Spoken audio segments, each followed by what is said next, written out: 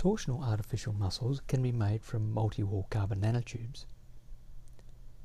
The multi-wall carbon nanotubes prepared as a forest by a CVD process can be drawn and twisted into long lengths of yarn. The yarn diameter is between 10 and 100 micrometers, and up to 30,000 turns per meter is possible.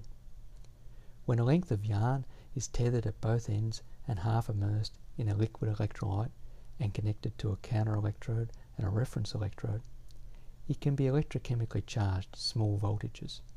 This causes yarn swelling and partial untwist. Discharging at 0 volts causes yarn shrinkage and retwist. In this way, we can produce large and fast torsional actuation.